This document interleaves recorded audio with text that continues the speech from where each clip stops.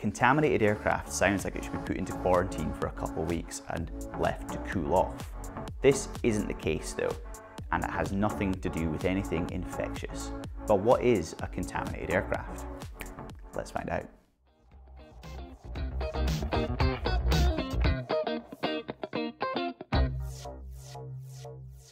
Hi, I'm Grant and welcome to class 23 in the Principles of Flight series. This will be the final class in the Principles of Flight series before we move on to a different subject. But before we do that though, we better take a look at some aircraft contamination. Aircraft are designed to be flown within a defined flight envelope, which means within a set range of altitude, speeds, load factors, masses, etc. And if we fly outside of this flight envelope, we can cause damage to the aircraft and we might not be able to achieve the desired aircraft performance. This envelope that we fly within assumes the aircraft is free from contamination, or at least within a tolerable level. Contamination is essentially anything that disturbs the airflow around the flight surfaces by modifying the shape and or texture of the aircraft's skin. This damage can be caused by things known as foreign object debris, which can be anything ranging from like um, like nuts and bolts or bits of metal or something like a bird strike would technically be foreign object debris and that would cause damage to the aircraft structure and that would modify the way that the air flows and the texture of the skin. Included in this as well would be things like oil and dirt and the other side of contamination is bad weather, and this is the one that we see most often. The main contamination in the form of weather comes from ice. Now, ice might seem like just ice, but there are broadly speaking three types in aviation. First, we have frost. Frost is a thin layer of crystallized water that forms usually from just the water vapor that's in the air.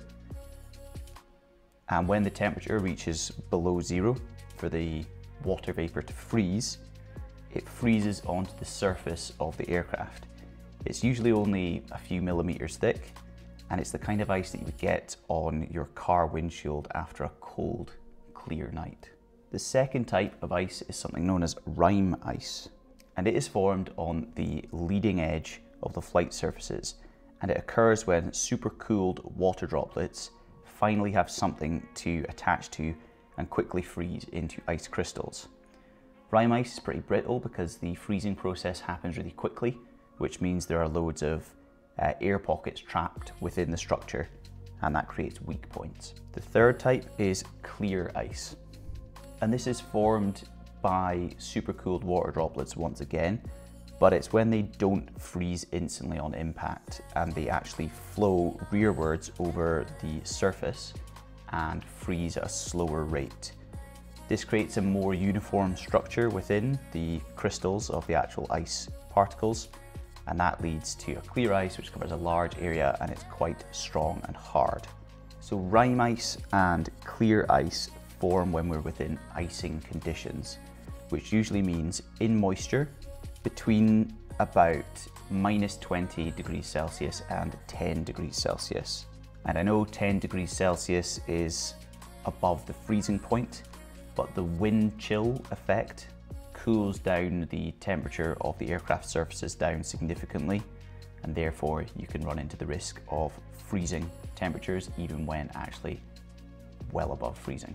So both rime ice and clear ice change the shape and texture of the wing, causing friction in the boundary layer and leading to an early separation of the airflow, as we can see here.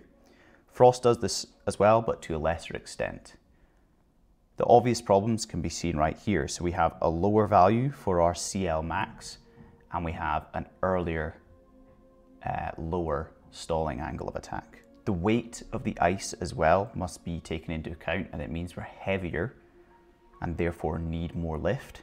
So we must travel faster to achieve the same amount of lift with this reduced value for CL max, which means our stall speed increases. Hopefully you can start to see why contamination is undesired. Another point to note about these smaller stalling angles is that the stall warning devices that we use to warn us of impending stalls are calibrated for non-contaminated stalls. So the reducing angle, stalling angle of attack that comes with contamination may go unwarned by the angle of attack sensors or any other stalling uh, warning devices. So we could stall the aircraft without having any audio or visual warnings. And because of this increase in stall speed that we need because of the heavier weight, that means that we could stall at a point in flight where normally we wouldn't, such as on the approach when we're flying slow, for instance. When we have contamination, we also have an increase in the skin friction drag and to some extent the form drag. This leads to a reduction in excess thrust available and if you remember from our flight physics class, the excess thrust is what we'd use for our uh, climbing performance. So if you're using more thrust to overcome the more drag, that means you have less excess thrust and you have a reduced amount of climb performance. So icing on the tail of an aircraft is an especially bad problem. The tailplane is usually a bit sharper and therefore starts to ice a bit quicker. This is because the supercooled water droplets are displaced uh, a lot less, so they are more likely to hit the leading edge. So if the ice builds up on the leading edge so bad, it can cause the tailplane to stall. And therefore, instead of producing downforce, it doesn't produce any downforce at all. And that leads to the lift weight couple producing a nose down pitching moment. And if you've got a stalled tailplane, that means you can't correct the problem. De-icing is the process of removing the ice from a surface this can be achieved through physically removing the ice by hand, by using de-icing fluids, or by using an inbuilt de-ice system on the aircraft such as inflatable boots. These are devices on the leading edge that have air or some other gas pumped into them once ice is formed in order to break it. So this area here would expand out the way and it would break off that ice as it goes. Anti-ice devices protect against ice forming.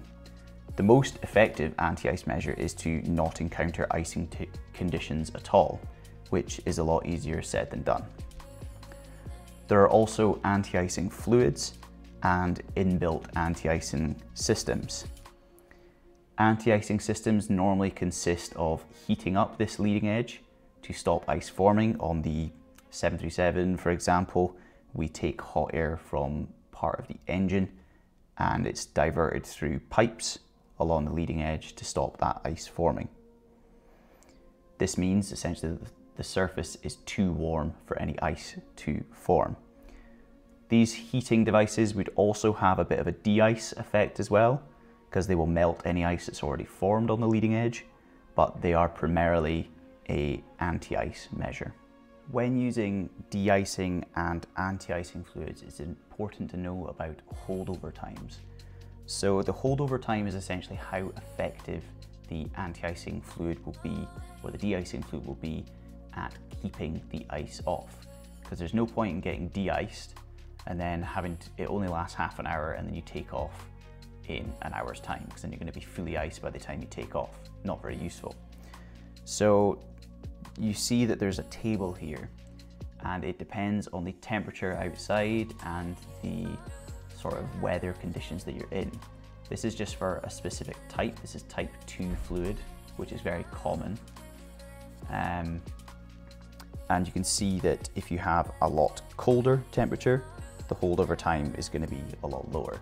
So for instance, if we just look at uh, very light snow, snow grains or pellets, which is this green column, Green column means it's going to be quite good, but if you look at minus three degrees and above, you're looking at, depending on the concentration here in the left, so this is, you know, 100% of the fluid, this is a 75, 25% dilution between water, 50-50, etc. So if you look at 100%, or actually, yeah, no, let's at 100.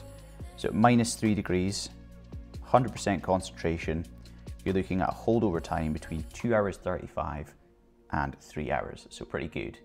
But then as it gets colder, go all the way down to the bottom, we're looking at minus 25 to minus 29 with 100% concentration, you're only down to 20 to 30 minutes. So it's important to note these holdover times. And if your holdover time has expired by the time it's ready, by the time you are ready to take off, you've got to return to wherever you were getting de-iced or anti-iced because you will have contamination potentially.